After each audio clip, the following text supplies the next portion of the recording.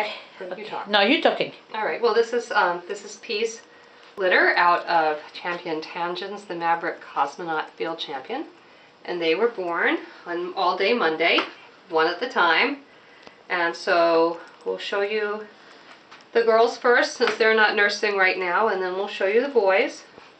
We have two little gold fawn twins, and they are pretty much the same size and color, and this brown color that you see here turns into a real pretty honey golden fawn um, later on and it all clears out and then all that little black that's around their eyes turns into mascara and just a little bit of shading and that will fade out. So right now they look really dark and brown like squirrels but in about six weeks they're going to be a nice little pale golden color.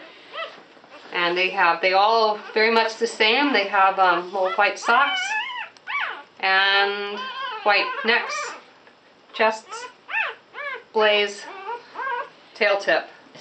And that's it. And then, because we didn't get very many white on them, we have their sister.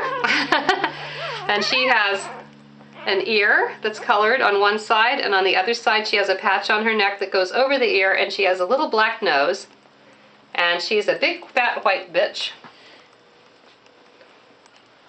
And she was the last puppy born and she's a whopper. And then we have our boys. Mm.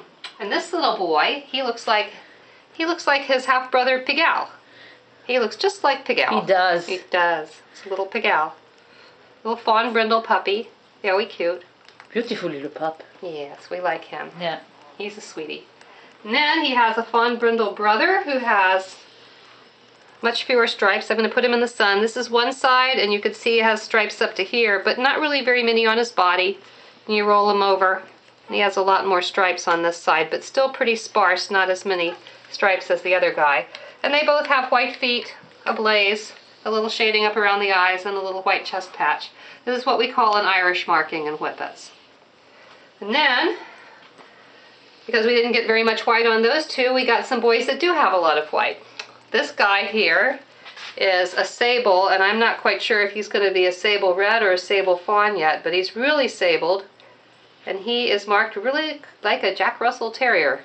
Good Jack Russell markings. He has a really cute face. And he's the smallest puppy in the litter, um, but he's definitely doing very well in nursing.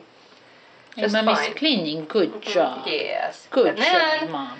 This big fat thing is his brother. This is definitely a red brindle. And he has that one stripe on the show side, I mean on the off side. And then he has his head marking here, and he's going to have a very pretty red coloration. And there's his little face. He's a, a nice very face. white blaze. Yes, he's a beautiful puppy. Beautiful puppy. And then he's all white except for his head marking Yeah. on what we call the show side, which is the left side, which is the side the judge normally sees the most of. And he was he was the fourth of the boys that was born. So we have four boys and three girls, and then this is their mother. And she's just very relaxed in the box, taking care of them. Hi, Pea. Wondering what that camera is. Hi, Pea. oh my gosh. Hi, Pea. Yeah. Taking a nap. Gorgeous little puppies. Mm -hmm. There's a Pigalle here.